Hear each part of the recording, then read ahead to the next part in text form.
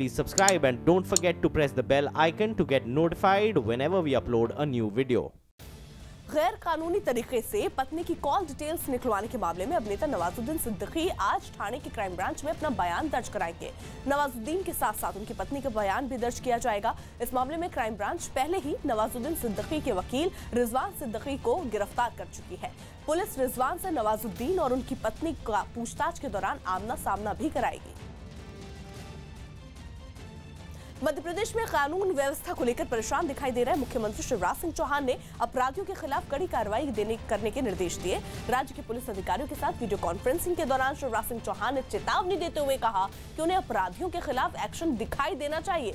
शिवराज सिंह ने पुलिस को निर्देश दिए कि हर ज़िले में अपराधियों को चिन्हित करो और उनके खिलाफ ऐसी कार्रवाई करो कि उनकी कमर टूट जाए। पुलिस अधिकारियों को सात दिन का समय देते हुए शिवराज सिंह चौहान ने कहा, जनता में सुरक्षा का भाव आना चाहिए। आप ध्यान से सुन ले, मुझे एक्शन चाहिए, शब्द नहीं चाहिए, कार्रवाई चाहिए। मुझे परिणाम चाहिए, अपराधी कांपने चाहिए। यहाँ भोपाल में जो धुनाई की है, उसके कारण कॉन्फिडेंस जगा है और गुस्सा देखो जनता का, मार नहीं खुद अपराधियों को आज। ये कॉन्फिडेंस जगना मस्त है, और कैसे जगेगा ये पुलिस जानती है। सात दिन में मैं सबको समय दे रहा हूँ, सात दिन के बाद फिर मैं वीडियो कॉन्फ्रेंसिंग करूँ। एक्शन एक्शन आटे की लोई को पानी में घोल कर देखा है आपने। खुल जाती है या वैसी की वैसी रहती है? घुल जाती है तो गेहूँ का शुद्ध आटा। और अगर नहीं घुलती तो वो आटा नहीं, बल्कि प्लास्टिक है। ये कसौटी है सोशल मीडिया के आटे की गुणवत्ता को जांचने की। पर निशाने पर है आशीर्वाद आटा। दावा है कि आप आशीर्वाद आटे की नहीं, बल्कि प्लास्टिक की रोटी खाते हैं, क्योंकि आशीर्वाद आटे की लोई पानी में घुलती ही नहीं। क्या पानी में गलना ही असली आटे की निशानी है?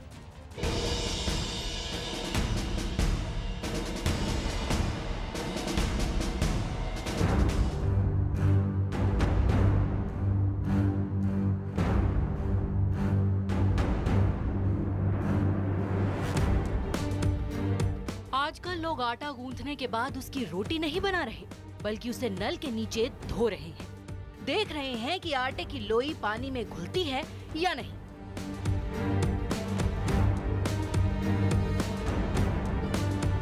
घर में आने वाले आटे को इस अग्नि परीक्षा से गुजरना पड़ रहा है। एक नामी ब्रांड आशीर्वाद आटे को भी। आशीर्वाद आटे के अंदर मिला हुआ प्लास्टिक।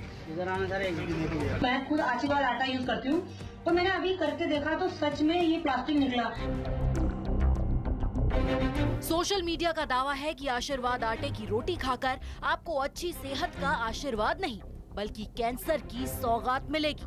ये सच बात है कि हम लोग एक जहर खा रहे हैं जो हमारे शरीर में कैंसर बना रहा है। लेकिन सवाल ये है कि क्या वायरल वीडियो में इस्तेमाल हुआ आटा वाकई आशीर्वाद ही? है क्योंकि इस महिला ने पूरे वीडियो में कहीं भी आशीर्वाद आटा दिखाया तो नहीं है। इसे आगे पिलाइए ये आशीर्वाद कंपनी का आटा है। और मैं तो इसे इतने सालों से खा रही हूँ। अभी मैंने ये देखी है वीडियो तो मैंने सोचा चलो एक बार मैं भी करके देखती हूँ शायद की कि झूठ है। दूसरे वीडियो में आशीर्वाद आटे की थैली दिख ज़रूर रही है लेकिन उसमें भी आटा उसी थैली से निकालते हुए नहीं दिखाया गया है। और अभी इन्होंने भी चेक किया है ऐसे नहीं इन्होंने भी चेक किया है। मैंने अभी अभी फेसबुक में एक वीडियो देखी जिसमें आशीर्वाद आटे को प्लास्टिक आटा बताते इस वायरल वीडियो ने सोशल मीडिया पर कहर मचा दिया है। लोग कह रहे हैं, आशीर्वाद आटा खाते हो तो ऐसे पता कर सकते हैं आटे में मिलावट। आशीर्वाद आटा देखिए कैसा है। फिर भी ले रहे हैं आप लोग। जागो ग्राहक, जागो। आशीर्वाद आटे में जहरीले प्लास्टिक पाउडर की मिलावट, जो कैंसर का खतरा सौ प्रतिशत बढ़ा देती है। सवाल ये है कि क्या पानी में घुलना ही असली आटे की निशानी है? क्या शुद्ध गेहूँ का गुथा आटा पानी में घुल जाता है? क्या वाकई आशीर्वाद आटे में प्लास्टिक मिला है? वायरल वीडियो में दिख रहा आटा पानी में घुल क्यों नहीं रहा है? आटा इतना लचीला क्यों है कि वो रबड़ की तरह खिंच रहा है? आटे की गुणवत्ता को परखने का ये तरीका पिछले साल दिसंबर से सोशल मीडिया पर वायरल है। तब न्यूज़ 18 इंडिया की टीम ने भी पड़ताल के लिए अपने हाथों से आशीर्वाद आटे का रियलिटी चेक किया था। वायरल वीडियो की तरह हमने भी आशीर्वाद आटे को गूंद कर उसे पानी में घोलने की कोशिश की थी। उसे खींच कर भी देखा था।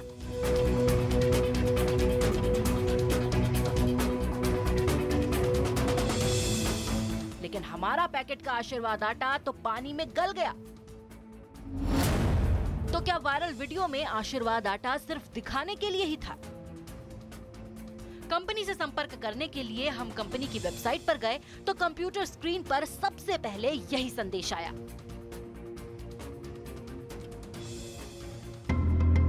इस संदेश में लिखा है आपके आशीर्वाद आटे में प्लास्टिक बताने वाले वीडियो पर ध्यान न दें। वीडियो में जिसे प्लास्टिक बताया जा रहा है, वो दरअसल एक प्रोटीन है, जो कि हर आटे में प्राकृतिक रूप से होता ही है। एफएसएसएआई के नियम के मुताबिक, हर आटे में इस प्रोटीन का होना अनिवार्य है। देश का नंबर एक आटा होने के नाते, हम अपने ग्राहकों की सेहत और सुरक्षा को लेकर सजग है। कहते हैं अन्न का अपमान। आईटीसी ने वायरल वीडियो के खंडन के लिए एक एड भी जारी किया है। उनका कहना है आशीर्वाद आटे में प्लास्टिक है। मैं उन्हें बताना चाहती हूँ कि ये लचीला पदार्थ प्लास्टिक नहीं ग्लूटेन है यानी वीट प्रोटीन। आटे के जिस लचीलेपन को सोशल मीडिया पर प्लास्टिक बताया जा रहा है कंपनी के मुताबिक तो वो आटे में मौजूद प्राकृतिक प्रोटीन है। तो क्या आटे का लचीलापन उसकी बढ़िया गुणवत्ता की निशानी है? कहीं लचीलापन आटे का प्राकृतिक गुण तो नहीं। ये जानने के लिए हमने प्लास्टिक के आटे की गुत्थी सुलझाने के लिए दिल्ली यूनिवर्सिटी में डिपार्टमेंट ऑफ़ फ़ूड टेक्नोलॉजी में associate professor doctor Eram Rao से बात की। आप जिसको प्लास्टिक बोल रहे हैं, वो मेरे मुताबिक प्रोटीन्स हैं। गूंदने के बाद आपका जो जो प्रोटीन कंटेंट आटे का होता है, उसकी वजह से वो नहीं घुलेगा। क्योंकि जब वो एक एक विस्को इलास्टिक मास बन जाता है हम उसको बोलते हैं जैसे आपका फेविकॉल का जोड़ लग गया तो स्टार्च एंड प्रोटीन को मिला के एक उसमें जोड़ लग जाता है जिसकी वजह से वो जो है आपका ग्लूटेन बनता है दो प्रोटीन्स को मिला के ग्लूटेन बन जाता है जो कि इनसॉल्यूबल इन वाटर होता है। और वो उसी तरह से स्ट्रेच करता है जैसे आपकी च्युइंगम स्ट्रेच करती है। लेकिन फिर हमारा आटा पानी में क्यों घुलने लगा? तो इसका जवाब भी सुनिए। बहुत क्रिटिकल है अमाउंट ऑफ़ वाटर जब आप कोई भी आटे का प्रेपरेशन करते हैं तो एज अ स्टैंडर्ड प्रोटोकॉल हम 60 परसेंट उसमें वाटर डालते हैं राइट सो विच मीन्स आपने दोनों में 60 परसेंट से कहीं ज़्यादा पानी डाला होगा आटा चाहे आशीर्वाद, जैसे किसी नामी ब्रांड का हो, या फिर सामान्य चक्की का। अगर एक बार वो अच्छी तरह गुंथ गया तो फिर आप चाहे जो कर लें, वो पानी में नहीं घुलने वाला। आटे की संरचना ही ऐसी है। घुलेगा सिर्फ़ आटे में मौजूद स्टार्च, लेकिन रबड़ जैसा दिखने वाला जो हिस्सा बच जाता है, वो होता है आटे का प्रोटीन। आटे में अगर ये प्रोटीन ना हो तो आटे से रोटी बनना मुमकिन ही नहीं, क्योंकि आटा गुंथ ही नहीं पाएगा। न्यूज़ 18 इंडिया की पड़ताल में आशीर्वाद आटे में प्लास्टिक होने की वायरल खबर बिल्कुल गलत साबित हुई है। बिहार के सहरसा में एक सरकारी अस्पताल में टॉर्च की रोशनी में एक आदमी एक महिला का इलाज करता दिखाई दिया। जो आदमी इस महिला का इलाज कर रहा था वो अस्पताल का सफ़ाई कर्मी बताया जा रहा है। इस घटना को वहाँ मौजूद किसी ने अपने मोबाइल में रिकॉर्ड कर लिया। जिसमें साफ़ दिखा कि ऑपरेशन थिएटर में बेसुध पड़ी जख्मी महिला के पास तीन औरतें खड़ी थी जिनमें एक महिला हाथ में जलती हुई टॉर्च लिए थी। आरोप है कि टॉर्च की रोशनी में ही अस्पताल के सफ़ाई कर्मचारी ने घायल महिला के हाथ में टाके लगाए।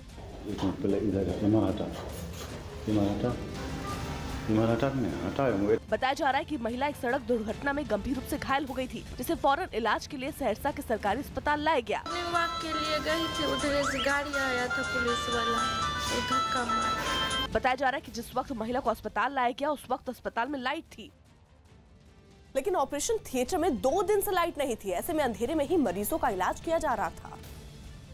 लेकिन आरोप है कि अस्पताल प्रबंधन ने इसे गंभीरता से नहीं लिया। इस लापरवाही पर जब अस्पताल के ही एक डॉक्टर से बात की गई तो अपनी ज़िम्मेदारी से पल्ला झाड़ते नज़र आए। सुपर आपका स्टिच करता है ऑपरेशन करता है। सब प्रशासन का मामला है सिविल सर्जन ऐसी बात कीजिए इस संबंध में जब अस्पताल के सिविल सर्जन ऐसी फ़ोन आरोप बात करने की कोशिश की गई तो पता चला की वो बाहर गए हुए थे। उत्तर प्रदेश के बाराबंकी में केशव शर्मा नाम का एक छात्र अपने मोबाइल फ़ोन पर अपने बैंक अकाउंट में साढ़े पाँच करोड़ से ज़्यादा रुपए जमा होने की जानकारी देने वाला एक एसएमएस दिखाने लगा। लेकिन केशव का दावा है कि कुछ ही देर बाद उसके अकाउंट में एक भी पैसा बाकी नहीं बचा। क्योंकि पहले तो केशव को अपने बैंक अकाउंट में पाँच करोड़ पचपन लाख पचपन हज़ार पाँच सौ पचपन रूपए जमा होने का मैसेज मिला। अचानक इतने पैसे जमा होने से वो हैरान रह गया। हालाँकि जल्द ही ये हैरानी परेशानी में बदल गई क्योंकि चंद घंटे बाद न सिर्फ़ केशव के खाते में जमा रकम वापस हो गई बल्कि उसका अकाउंट बैलेंस भी ज़ीरो हो गया। नेट बैंकिंग पे अपनी आईडी खोली तो उसमें अवेलेबल बैलेंस ज़ीरो दिखा रहा है। हालाँकि बैंक के कस्टमर केयर ने गलती सुधारने का भरोसा दिया लेकिन केशव के पिता को बेटे की पढ़ाई के लिए रखे पैसों की चिंता सता रही है। मध्य प्रदेश में दहेज न मिलने पर एक महिला को तीन तलाक दे दिया गया। मध्य प्रदेश के अनूपपुर में एक महिला ने अपने पति पर शादी के 25 दिन बाद तक दहेज न मिलने पर तीन तलाक देने का आरोप लगाया। लखनऊ में गृह मंत्री राजनाथ सिंह ने उत्तर प्रदेश में योगी सरकार के एक साल पूरा होने की बधाई दी। उत्तर प्रदेश के मुख्यमंत्री श्री योगी आदित्यनाथ जी और उनकी सरकार को मैं हार्दिक बधाई देता हूँ। उत्तर प्रदेश बुलंदशहर में एक निर्माणाधीन इमारत के गिरने से उसके नीचे दबकर छह लोग घायल हो गए। उत्तर प्रदेश के नोएडा में एक चोर घर के बाहर खड़ी नई नवेली फॉर्चुनर कार को कुछ ही पलों में चुरा कर ले गया। जम्मू कश्मीर में बालाकोट सेक्टर में पाकिस्तान की तरफ़ से जारी फायरिंग में एक ही परिवार के पाँच लोगों की जान जाने के बाद इलाके के लोगों ने दहशत में रात काटी। उत्तर प्रदेश के गोंडा में एक महिला ने आरोप लगाया कि एक मुस्लिम और दो बच्चों के पिता ने अपना धर्म और शादीशुदा होने की बात छिपाकर उससे मंदिर में शादी कर ली और चार महीने तक उसका रेप किया। उत्तराखंड शिक्षा विभाग और मदरसा बोर्ड ने फैसला किया कि इस साल से मदरसों में होने वाली परीक्षाओं को सरकारी कॉलेजों में कराया जाएगा। झारखंड के हजारीबाग में एक महिला का सिर कटा शव बरामद होने के बाद हड़कंप मच गया। मुंबई में इंडियन डेंटल एसोसिएशन के आयोजित एक कार्यक्रम में मुँह के कैंसर के कारण और उनसे बचाव के उपाय लोगों को समझाए गए। बिहार के समस्तीपुर में ट्रेन नहीं रुकने की वजह से एक महिला चलती ट्रेन से कूदकर गंभीर रूप से घायल हो गई। उत्तर प्रदेश के वाराणसी में मुस्लिम महिलाओं ने तीन तलाक के बिल समर्थन में मार्च निकालकर मुस्लिम पर्सनल लॉ बोर्ड का पुतला फूका।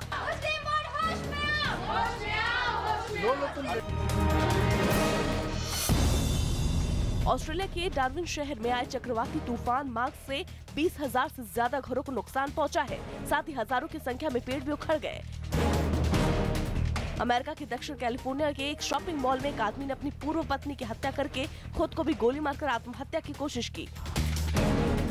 पूर्वोत्तर चीन के जिलिन प्रांत में हर साल मार्च के महीने में बर्फ़ से जमी झील पर इकट्ठा होने वाले दुर्लभ प्रजाति के प्रवासी पक्षी दुनिया भर से उन्हें देखने आए लोगों के आकर्षण का केंद्र बन गए। ऑस्ट्रेलिया के विक्टोरिया में जंगल में फैली आग के रिहायशी इलाके में पहुँचने के बाद उसकी चपेट में कई घर आ गए, जिसके बाद आसपास के इलाके को खाली करवा दिया गया। संसद में आज फिर हंगामे के आसार है। लोकसभा में आज टीडीपी और वाईएसआर कांग्रेस की तरफ़ से अविश्वास प्रस्ताव पेश किया जाएगा। इस अविश्वास प्रस्ताव को कांग्रेस, डीएमके टीएमसी और एसपी के साथ साथ लेफ़्ट ने भी अविश्वास प्रस्ताव का समर्थन करने का ऐलान किया। टीडीपी ने व्हिप जारी कर अपने सभी सांसदों को संसद में मौजूद रहने को कहा। हालाँकि संख्या बल को देखते हुए सरकार को कोई खतरा नहीं है, लेकिन सहयोगी दल रहे टीडीपी की तरफ़ से अविश्वास प्रस्ताव लाया जाना सरकार के लिए किरकिरी ज़रूर है।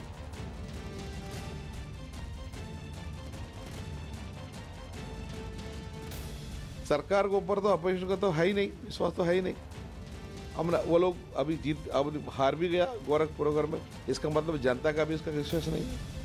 इधर पार्लियामेंट्री पार्लियामेंटेरियन का भी विश्वास नहीं है। जो बीजेपी के एमपी है उनका भी गुस्सा है। उनका भी गुस्सा है। उनका भी गुस्सा बाहर आ जाएगा। अच्छा। मेरे ख्याल में मेरे ख्याल में चाहता हूँ डेमोक्रेसी में फ्रीडम ऑफ़ वॉइस होना चाहिए freedom of right to vote होना चाहिए। अगर वो होगा तो पक्का ये नो कॉन्फिडेंस मोशन हम जीतेंगे। हो सकता है सरकार गिर भी जाए। राष्ट्रीय जनता दल जो नो कॉन्फिडेंस मोशन लाया गया है सदन में सरकार के खिलाफ, हम लोग जो है, उस अविश्वास प्रस्ताव के पक्ष में हैं। खड़े भी हुए थे, आगे भी खड़े होंगे कि ये सरकार देश में जो भी जहाँ से अपनी मांग उठाते हैं, अपने हक का, न्याय के लिए, राज्य के लिए स्पेशल स्टेटस के लिए तो आज जो है, उन्हें जो है दत्ता बताने का काम करते हैं। इसलिए हम लोग जो है, अविश्वास प्रस्ताव के पक्ष में केंद्र में एनडीए की सहयोगी एलजेपी के अध्यक्ष रामविलास पासवान ने दलित और अल्पसंख्यकों को लेकर बीजेपी को अपनी छवि बदलने की नसीहत दी। रामविलास पासवान के मुताबिक, बीजेपी को दलित और अल्पसंख्यकों को लेकर अपनी सोच बदलनी चाहिए। पासवान का दावा है कि बीजेपी में सुशील मोदी, रामकृपाल यादव शहनवाज हुसैन जैसे सेकुलर नेता हैं, लेकिन पार्टी में इनकी आवाज़ दबी रह जाती है। जो परसेप्शन है, जो मास परसेप्शन है माइनॉरिटी के संबंध में, दलित के संबंध में, उसको खाली बदलने की आवश्यकता है। बीजेपी में क्या कहते हैं कि जो सेकुलर लीडर नहीं है क्या? मानते हैं कि आपका मानते हैं कि उप मुख्यमंत्री हैं, सुशील कुमार मोदी हैं, या मानते हैं कि रामकृपाल यादव हैं, या सारे के सारे जितने जगह हैं कि जो लोग हैं शाहनवाज हुसैन हैं तो सब काफ़ी लोग हैं, खाली क्या कहते हैं कि अब होता क्या है कि इन लोगों की आवाज़ दबी रह जाती है। और कुछ लोग बोलते हैं वो आवाज़ मुखर हो जाता है। तो ज़रूरत है कि उन लोगों को भी उन लोगों का भी आवाज़ आगे आना चाहिए। दिल्ली के तुगलकाबाद गाँव में बीती रात एक कबाड़ के गोदाम में भीषण आग लग गई। आग से कोई जनहानि तो नहीं हुई, लेकिन लाखों रुपए का सामान जलकर राख हो गया। मौके पर पहुँची फायर ब्रिगेड की 10 गाड़ियों ने करीबन तीन घंटे की मशक्कत के बाद आग पर काबू पाया। आशंका जताई जा रही कि आग शॉर्ट सर्किट की वजह से लगी। फ़िलहाल पुलिस आग लगने की घटना की जाँच कर रही है। एमएनएस प्रमुख राज ठाकरे ने बीजेपी और खासतौर पर पीएम मोदी पर तीखे हमले किए। राज ठाकरे ने आरोप लगाया कि बीजेपी राम मंदिर के बहाने देश में एक बार फिर से हिंसा करवाना चाहती है। मुंबई के शिवाजी पार्क में एक जनसभा को संबोधित करते हुए राज ठाकरे ने आरोप लगाया कि अपने चुनावी फ़ायदे के लिए बीजेपी देश में हिंदू मुसलमानों के बीच दंगल कराने की फिराक में है। इसलिए देश के हिंदू और मुस्लिम भाई सावधान रहे। इतना ही नहीं राज ठाकरे ने दावा किया कि अब मोदी मुक्त भारत देश की जरूरत बन गई है क्योंकि उन्हें देश से ज्यादा गुजरात की चिंता रहती है। भारतामध्ये धार्मिक दंगली घडवल्या जातील. हिंदू मुसलमानांमध्ये दंगल घडवली जाईल. आणि दंगल घडवण्याचं सर्वात प्रमुख महत्वाचं कारण करतील ते म्हणजे राम मंदिर. जम्मू कश्मीर के पुंछ के बालाकोट सेक्टर में एक व्यक्ति ने पाकिस्तान मुर्दाबाद का नारा लगाया तो उसे घेर कर खड़ी भीड़ ने भी ऐसा ही किया। भीड़ रिहायशी इलाके में पाकिस्तान की गोलाबारी से नाराज़ थी, जिसकी चपेट में आकर एक ही परिवार के पाँच लोगों की मौत हो गई। जिसके बाद गाँव वाले एक जगह इकट्ठा होकर पाकिस्तान मुर्दाबाद के नारे लगाने लगे। पाकिस्तान मुर्दाबाद मुर्दाबाद। पाकिस्तान एक बार फिर युद्ध विराम का उल्लंघन किया जिसके बाद इस गाँव पर मोटार के गोले गिरने लगे। एक गोला सीधे इस घर पर गिरा जिससे एक ही परिवार के पाँच लोगों की मौत हो गई। ये गाँव है देवता गाँव यहाँ पे मोटार शल यहाँ पे आके गिरा है। वो यहाँ पर उस समय घर के भीतर थे अपने बच्चों के साथ। बमबारी में दो बच्चियाँ भी जख्मी हो गई मकान को भी ज़बरदस्त नुकसान पहुँचा। दीवारें और छत तक टूट फूट गई एक साथ पाँच जनाजा उठने ऐसी गाँव में मौत का मातम पसर गया। सब परिवार खत्म हो गया जिसके पीछे कोई इसका देने वाला नहीं खाने वाला नहीं है। क्यों जुल्म किया उसका पूरा परिवार खत्म कर छोड़े हो? नाराज़ लोगों ने पाकिस्तान को मुँह तोड़ जवाब देने की मांग की। और भारतीय सेना ने रविवार की सुबह से शुरू हुए युद्ध विराम उल्लंघन का ज़बरदस्त जवाब दिया। हालाँकि पाकिस्तान की इस हरकत के कारण भारत के पाँच जवान भी जख्मी हो गए। लेकिन भारतीय फौज की जवाबी कार्रवाई से पूरा इलाका थर्रा गया। सेना ने इस इलाके को निशाना बनाए जाने पर पाकिस्तान पर ट्वीट करके भी पलटवार किया। आज का युद्ध विराम उल्लंघन बड़ी चिंता की बात है। पाकिस्तान नियंत्रण रेखा के तीन से चार किलोमीटर अंदर तक नागरिक इलाकों में बेगुनाहों को निशाना बना रहा है, जहाँ सेना की तैनाती भी नहीं है। न कोई साजो सामान ही लगा है। हमारी फौज भी मुंहतोड़ जवाब दे रही है। नागरिक इलाकों को निशाना बनाने की नेताओं ने भी आलोचना की। कई सालों से हम देख रहे हैं कि उस सीज फायर को तो अब सिर्फ़ एक कागज़ी सीज फायर रखा गया है। नागरिक इलाके को निशाना बनाए जाने पर केंद्रीय मंत्री जितेंद्र सिंह ने पाकिस्तान को अंजाम भुगतने की चेतावनी भी दी। इन सब बातों का संज्ञान रक्षा मंत्रालय भी लेता है गृह मंत्रालय भी लेता है। जवाबी कार्रवाई भी हो जाती है। पाकिस्तान की गोलाबारी का शिकार बने गाँव का मुख्यमंत्री महबूबा मुफ्ती भी दौरा करेंगी। अमेरिका ने एक बार फिर पाकिस्तान को सख्त चेतावनी देते हुए कहा कि अगर पाकिस्तान ने तालिबान और दूसरों आतंकी संगठनों पर कार्रवाई नहीं की तो अमेरिका को यह काम खुद करना पड़ेगा। अमेरिका ने कहा कि बार बार चेतावनी के बावजूद पाकिस्तान ने आतंकियों के खिलाफ कार्रवाई नहीं की। अमेरिका की तरफ़ से ये सख्त बयान अमेरिका के उपराष्ट्रपति माइक पेंस और पाकिस्तान के प्रधानमंत्री शाहिद खक्कान अब्बासी की मुलाकात के बाद आया।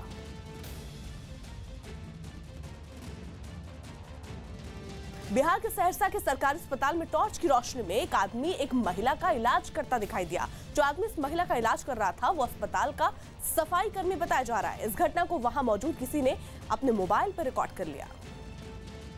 जिसमें साफ़ दिखा कि ऑपरेशन थिएटर में बेसुध पड़ी जख्मी महिला के पास तीन औरतें खड़ी थी जिनमें एक महिला हाथ में जलती हुई टॉर्च लिए थी। आरोप है कि टॉर्च की रोशनी में ही अस्पताल के सफ़ाई कर्मचारी ने घायल महिला के हाथ में टाके लगाए।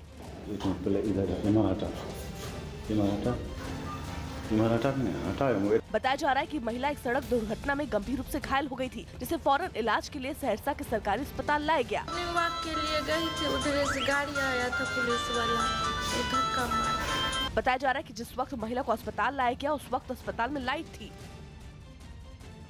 लेकिन ऑपरेशन थिएटर में दो दिन से लाइट नहीं थी ऐसे में अंधेरे में ही मरीजों का इलाज किया जा रहा था। लेकिन आरोप है कि अस्पताल प्रबंधन ने इसे गंभीरता से नहीं लिया। इस लापरवाही पर जब अस्पताल के ही एक डॉक्टर से बात की गई तो अपनी ज़िम्मेदारी से पल्ला झाड़ते नज़र आए। सुपर आपका स्टिच करता है ऑपरेशन करता है। सब प्रशासन का मामला है सिविल सर्जन ऐसी बात करिए इस संबंध में जब अस्पताल के सिविल सर्जन ऐसी फ़ोन आरोप बात करने की कोशिश की गई तो पता चला की वो बाहर गए हुए थे। पाकिस्तान में भारतीय उच्चायोग के अधिकारियों के साथ बदसलूकी का सिलसिला जारी है। सूत्रों के मुताबिक इस्लामाबाद में रविवार को उच्चायोग के सेकंड सेक्रेटरी की गाड़ी पर अज्ञात लोगों ने उसका पीछा किया और वीडियो बनाया। इसके अलावा उच्चायोग के चार अधिकारियों का भी कुछ अज्ञात मोटरसाइकिल सवारों ने पीछा किया। इतना ही नहीं, भारतीय उच्चायोग की वेबसाइट को रुक रुक कर ब्लॉक करने का मामला भी सामने आया। इस मामले को लेकर भारत ने पाकिस्तान के विदेश मंत्रालय के सामने अपना विरोध भी दर्ज करवा दिया है।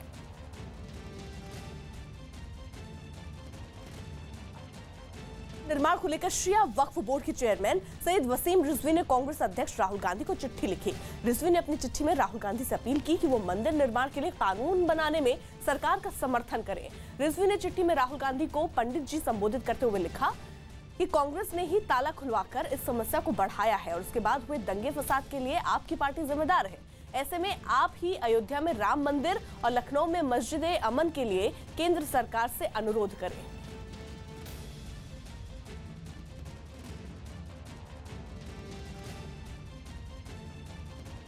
उद्देश्य है वहाँ राम मंदिर का निर्माण हो।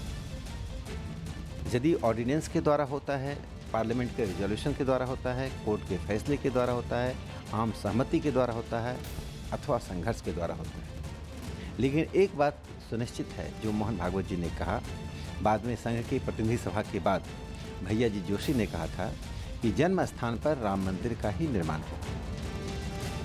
सुप्रीम कोर्ट के सम्मुख राम जन्मभूमि का मामला है और जो सुप्रीम कोर्ट का फैसला होगा, सभी उसको स्वीकार करें। और ये अब किसी भी रूप में राम का नाम लेकर के भाजपा की भाजपा की नैया डूबने से नहीं बच सकती है।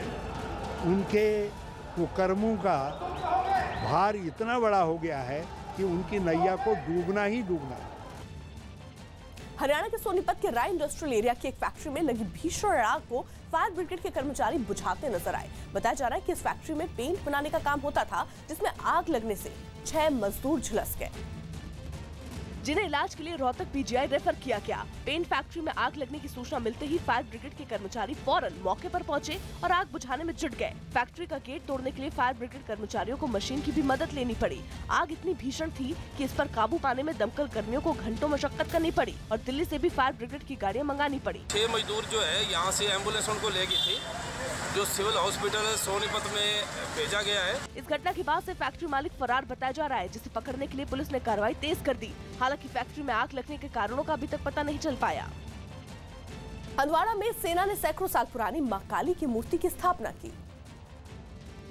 जम्मू कश्मीर के हंदवाड़ा में नवरात्र के पहले दिन 36 साल पहले हटाई गई माँ काली की सैकड़ों साल पुरानी मूर्ति को सेना ने फिर से भद्रकाली मंदिर में स्थापित किया।